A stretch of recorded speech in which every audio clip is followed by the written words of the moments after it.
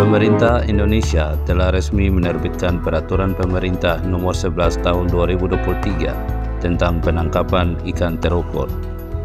Regulasi ini merupakan upaya untuk menjaga kelestarian sumber daya ikan di Indonesia sekaligus meningkatkan kesejahteraan nelayan. Peraturan Pemerintah Nomor 11 tahun 2023 mengatur penangkapan ikan berdasarkan mekanisme penangkapan ikan terukur yang mana penangkapan ikan diatur dengan kuota hingga di zona tertentu. Kuota penangkapan ikan ditetapkan berdasarkan potensi sumber daya ikan yang ada. Dengan mekanisme penangkapan ikan terukur, diharapkan kegiatan penangkapan ikan di Indonesia dapat lebih terkendali dan proporsional. Hal ini akan berdampak positif bagi kelestarian sumber daya ikan sekaligus meningkatkan kesejahteraan nelayan.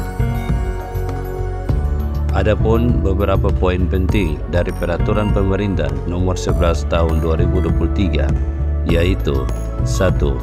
Penangkapan ikan terukur adalah penangkapan ikan yang terkendali dan proporsional dalam rangka menjaga kelestarian sumber daya ikan dan lingkungannya serta pemerintahan pertumbuhan ekonomi nasional. 2. Penangkapan ikan terukur dilakukan berdasarkan kuota yang telah ditetapkan oleh pemerintah. 3. Kuota penangkapan ikan ditetapkan berdasarkan potensi sumber daya ikan yang ada. 4. Penangkapan ikan terukur diatur dengan berbasis output control yang mana kegiatan penangkapan ikan disesuaikan dengan potensi sumber daya ikan yang ada.